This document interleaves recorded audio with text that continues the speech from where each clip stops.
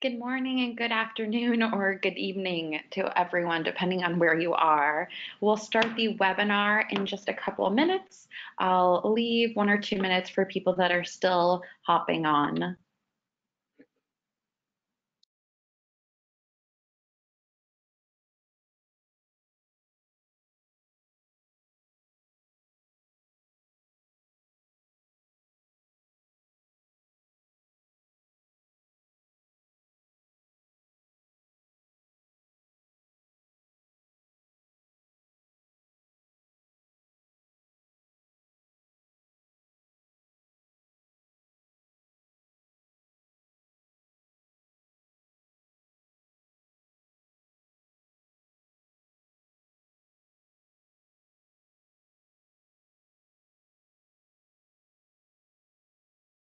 Okay, so let's get started.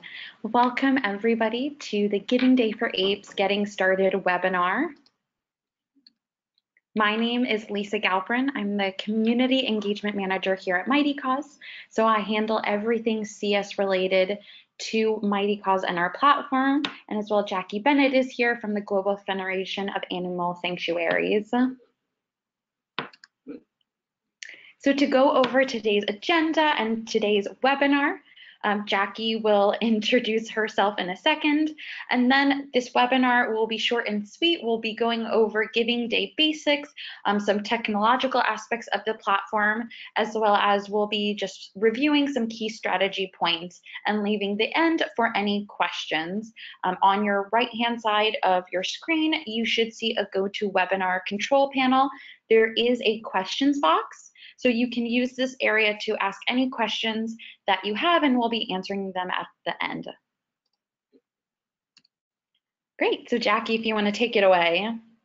Sure, thanks Lisa. Um, well, first, I just want to say that GFAS is really excited to be presenting Giving Day for Apes this year, which is, of course, made possible by the continuing support of Arcus Foundation and our prize sponsors. Uh, so far, we have more than 20 participating organizations registered, which I think is probably a record for this far in advance of the event. So I think we're going to have a very enthusiastic group of participants from Africa, Asia, and North America. Um, as Lisa said, today's webinar is to offer a refresher on the Mightycause platform and let you know about some new features. And in addition to that, there's one very significant change from previous years, which some of you may have seen in an email. And that is that Mightycause has lowered the platform fee for online donations from 6.9% to 4.9% which means uh, a lower cost to your donors for making a donation and hopefully more funds going directly to your organizations. So I wanted to extend a big thank you to Mightycause for committing to this and to the success of Giving Day for Apes this year. Just a few more things. Uh, we haven't announced our prize structure and schedule just yet, but expect it to be very similar to last year. It will include the same leaderboards, and also Power Hour prizes and golden tickets. And we'll send you that information when it's ready. We're also going to be offering two more webinars before Giving Day. And in fact, we just set the dates for those this morning. So um, you'll get more information about this, but on September 5th, uh, we're going to have a webinar on matching grants and peer-to-peer -peer fundraising, just going over how those work for Giving Day and talking about some strategies for using them. And then on September 12th, we're going to do a final webinar before early fundraising opens. And that's going to be on storytelling tips, a review of the prize structure, and talking about overall campaign strategies. You can get more information about those now in the nonprofit toolbox link on the Giving Day page. And you'll also get information and registration links for the webinars by email. And we're also going to be adding some more resources to that online toolbox link shortly. So check back in a few days or next week, and that'll be some, some checklists and some other tools that maybe will help you as you think about your campaign for this year. And the last thing I wanted to mention is we know not all of our participating organizations have the same resources on staff to organize a Giving Day campaign. And so this year we hope to offer more support through volunteer matching. So if you'd like to find a volunteer to help you with, you know, some things from updating the design and content of your organization page on Mightycause, or helping with a communications plan to write some social media or email messages, you can email us and we'll reach out to some of our other GFAS sanctuaries and supporters and see if someone is uh, able to offer time and an extra hand for your campaign. And so with that, I'll turn things over to Lisa. Thanks so much, Jackie. So let's go over some Giving Day basics.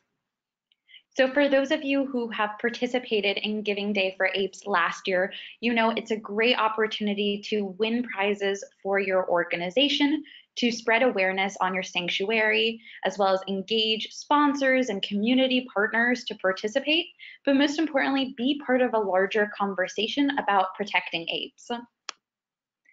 And as you know from participating last year, it's really easy to do so. Um, if you haven't already done so, please register. You'll then create and customize a profile page, plan a fundraising campaign, promote it, and as well, it's a great opportunity to review the page you had last year and think of a new story to tell about your sanctuary or your organization. How can you share your mission in a different way so that it's new and exciting for donors this year? And we'll be going over how you can do it on the platform um, in a little bit more detail. So first, as I just mentioned, please make sure that you've registered for the event on the Giving Day for Apes site. The registration is short and easy. It'll also provide you access to your profile page if you haven't already done so, you will receive two approval emails, one that you've been approved for the event, as well that you've been approved as an administrator.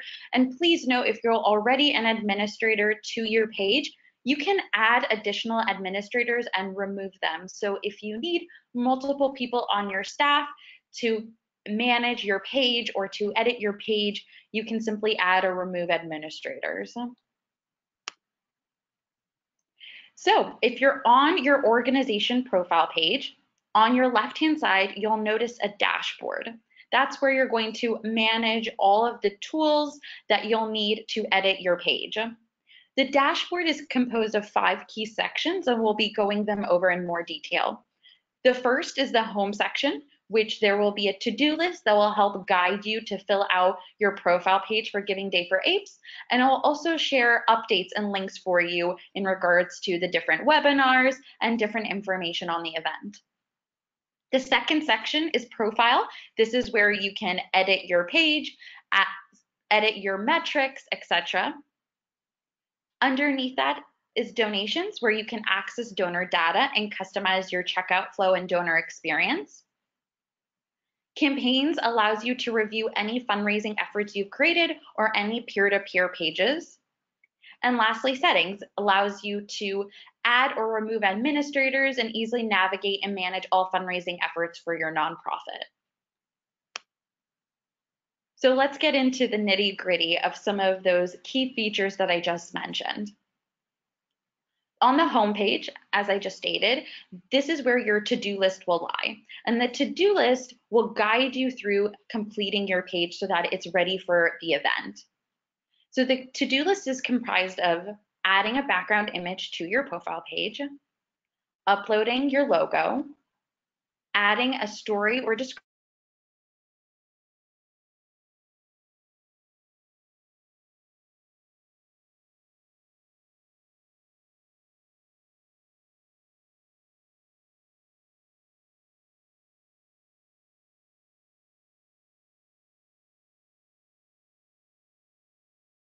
will help you go bullet by bullet and will also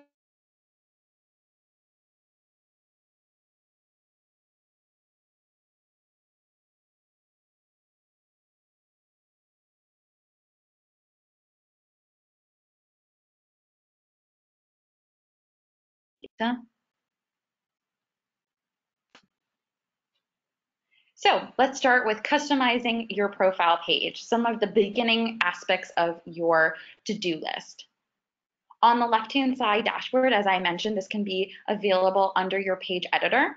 And your profile page is going to be the main link you're going to share with your supporters. So it's the most crucial part of your event and um, what you'll be sharing with people.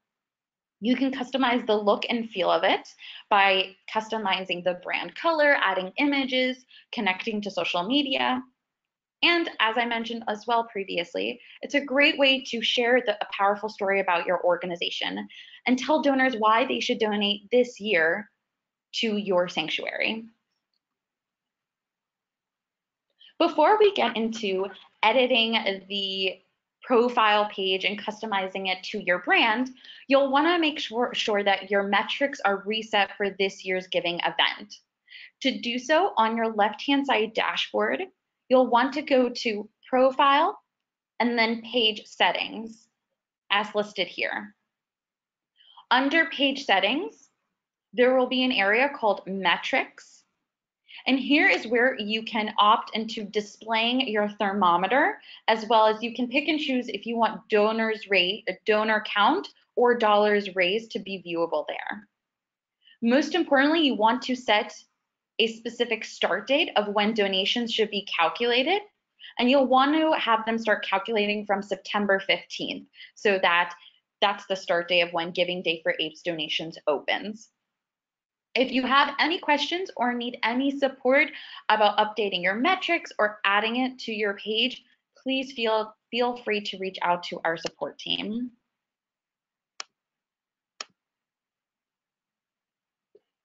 In addition to customizing or adding those metrics to your page, you'll want to make sure to head over to your settings and fill out some crucial back, back end information for your event.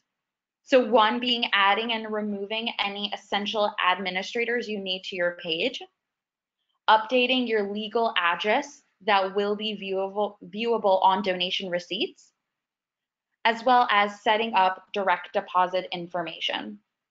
And all of that can be found on the left-hand side dashboard under settings. As well, in this area, you can customize your social share and URL so if you would like to update the end of your URL to match maybe an acronym you have for your organization, or you would like to change the photo that displays when people share your page on Facebook or on Twitter, you can do that through the social share setting and the URL setting within settings on your left-hand side dashboard.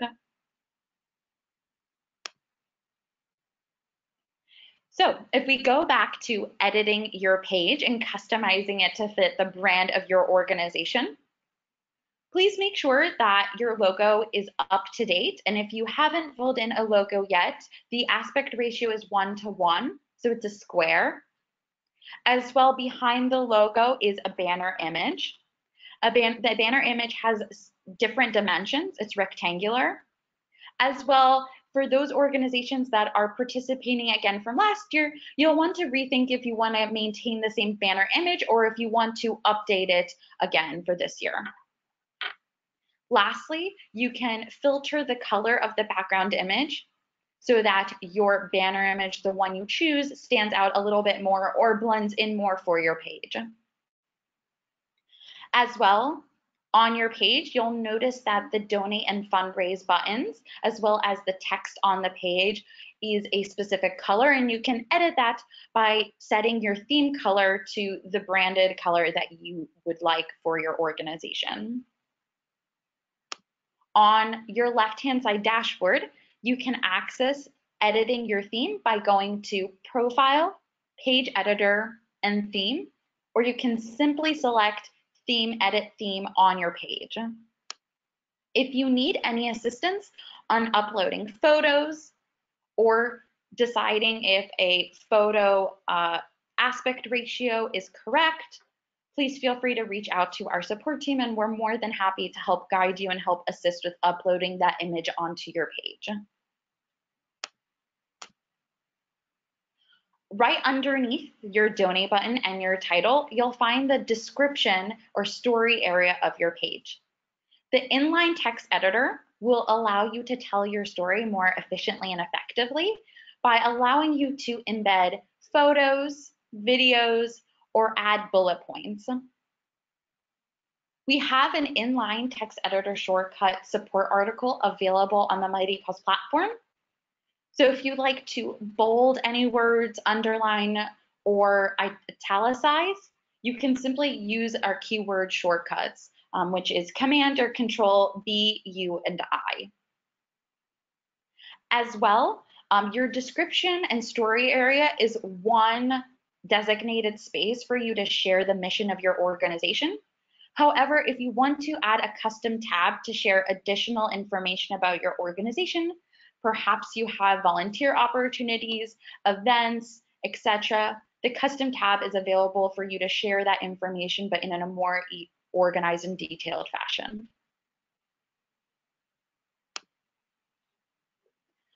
Below the story and description area, you'll find a designated space to add images and integrate with social media. So the media gallery allows you to directly import photos from your computer or from Facebook. But we also have a Facebook and Instagram section where you can directly connect your Facebook and your Instagram account to import your feed. This is a great opportunity to keep your page fresh and new without having to update your images in two different areas. If you're updating it on your Instagram account, this will automatically update on your organization page. And as I mentioned a couple slides back, please make sure to review your social share settings under the settings area of your left-hand side dashboard to ensure that the messaging, the title, and the image you want shared on social media um, is up to your standards and has the text that you would like.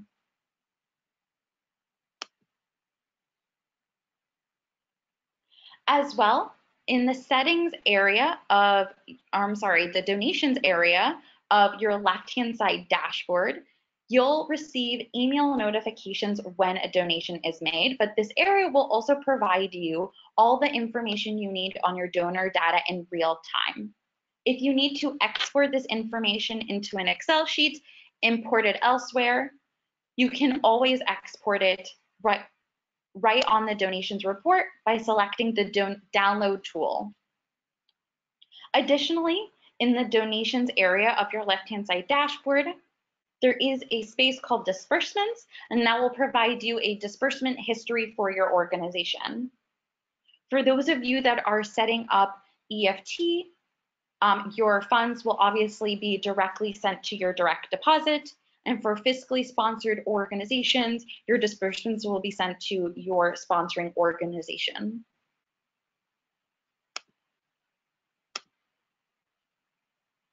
If your organization is receiving offline gifts, so checks, cash, uh, matching grants, sponsors, etc., and you want to make sure that the total raised on your organization profile page is up to uh, date to include all of those donations.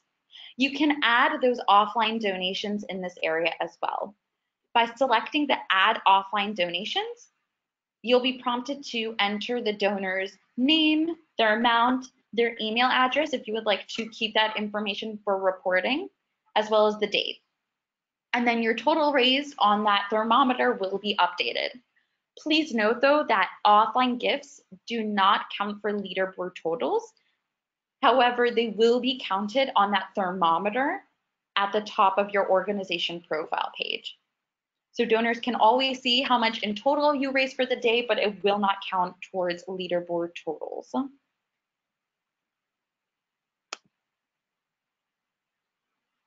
As well, on your left-hand side dashboard under disbursements, is an area called donor experience.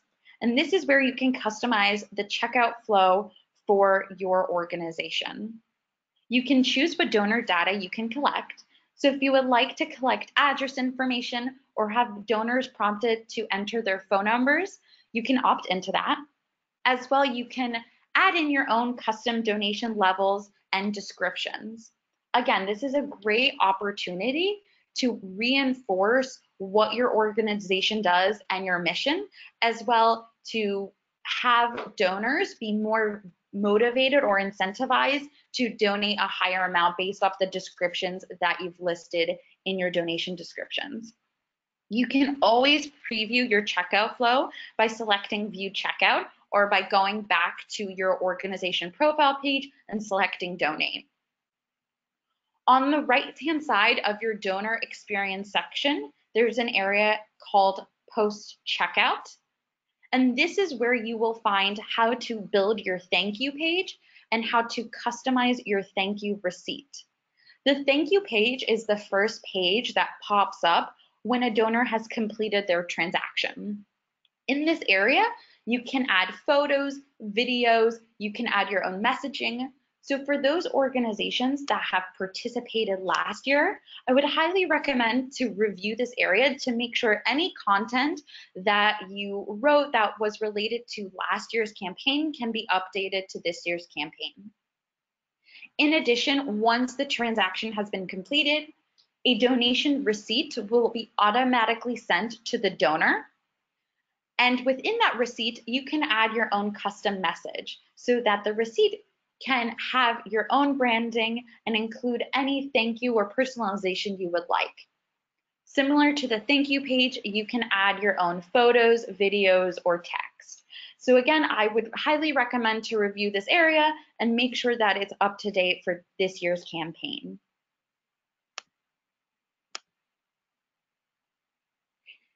In addition to donor experience, disbursements, and donations report, on the left-hand side dashboard and donations, there's also an area for matching grants. This is one of the features that has been updated since last year's Giving Day for APES. If your organization has received a matching grant or you're looking to receive a matching grant, it's a great opportunity to um, display a dollar for dollar matching grant right on your page. If you enter a matching grant in, through Mightycause on your donate button, it will signify to donors that you do have a live matching grant. So again, motivating donors to make a donation and letting them know that their donation will be matched. The match does not need to be paid through the platform. If your match will be paid offline through check or however, that is perfectly fine. However, if you do want to direct uh, your the matching grantor to make the donation on the site that will be counted towards the leaderboard. Any matching grant that you do receive, the totals on your thermometer and your metrics will be updated to include that match. But again, matching grants will not be included on your leaderboard. Some of the newest features that we've added to this area is the ability to add an email notification for the match, as well the ability to add a logo for your match so that you can recognize sponsors. So if you are planning on reaching out to businesses, companies, etc., this is a great opportunity to also provide them the opportunity to share that information on the page and share that with donors. What's also exciting is that we've added the opportunity to add different types of matches. So if you would like to add a total amount of donations match, total number of donors, you will have the opportunity to do so this year. So this is a great way to start thinking about your power hours and all of the prizes that will be happening on the event. We'll be getting into more detail in the next webinar, but just so you start thinking about what's new on the platform and you can start brainstorming for how you want to um, receive or input your matching grants into the system. Great, so now that we've gone through some of the technical aspects of the platform, your to-do list, all of these sections on your left-hand side dashboard, we'll be going over just some strategy tips um, so that you can be prepared as early as possible. So secure early donations. For those of you who are not aware, you can start accepting donations for Giving Day for APES starting September 15th. Um, this can be all viewable to the nonprofit through your admin pa panel as we just went through on the donations area. Donations report, you can see all of that donors that are coming through for your donation and donations are processed immediately. Also, as we just went through, the thank you page will immediately pop up. They'll receive a donation receipt. And all of those donations that you start receiving on September 5th onward will be reflected on the leaderboard on the day of the event. So um, for those of you who um, would like to know where you are in the leaderboard, you'll have to wait until the event opens to be able to review the leaderboards. And as well, just a helpful reminder that donors don't need to create a user account to donate. They will be asked to, to enter their email address, but that is just for us to send their donation receipt, but they are not prompted to create a user account nor do they need to. So as we come to a close uh, to this webinar, um, you want to start thinking about how you want to activate your ambassadors. Um, any peer-to-peer -peer fundraising efforts that you want to get started or how you want to engage with the supporters in your area. Um, you want to equip your ambassadors with the tools and strategies to promote. And now that we've gone through some of the technical aspects of the platform, hopefully that was a little bit more helpful for you to guide any supporters, board members, etc. that do want to start a peer-to-peer -peer fundraising campaign. And most importantly, allow them to tell your story about your organization. Allow them to tell how your organization is important to them and why they want to fundraise for you um, on Giving Day for APES. So please make sure to spread the word about Giving Day for APES, especially as we get closer to the event. Use all channels, email, social media, in your newsletters. We highly recommend to segment your communications by donor group um, and make sure that your email marketing is succinct um, and you are sharing the correct content and information as well as the correct links as to where people can go to donate.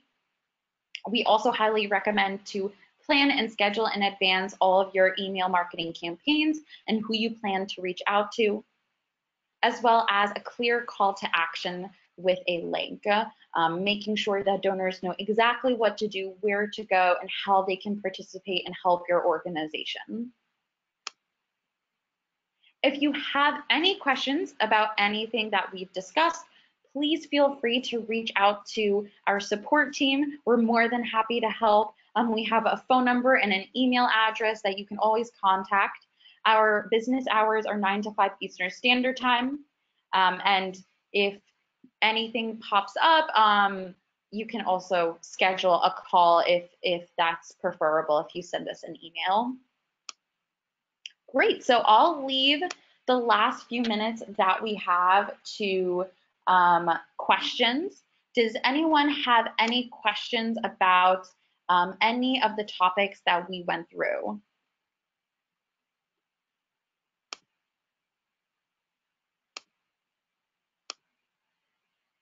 Great, so I don't see any questions coming through. Um, so I will leave us at this point. Um, if you do, please feel free to reach out to support at mightycause.com. Um, and thank you so much. This webinar will be available on the toolkit under, um, under the section that says getting started. All right, thanks so much and have a great day. Bye.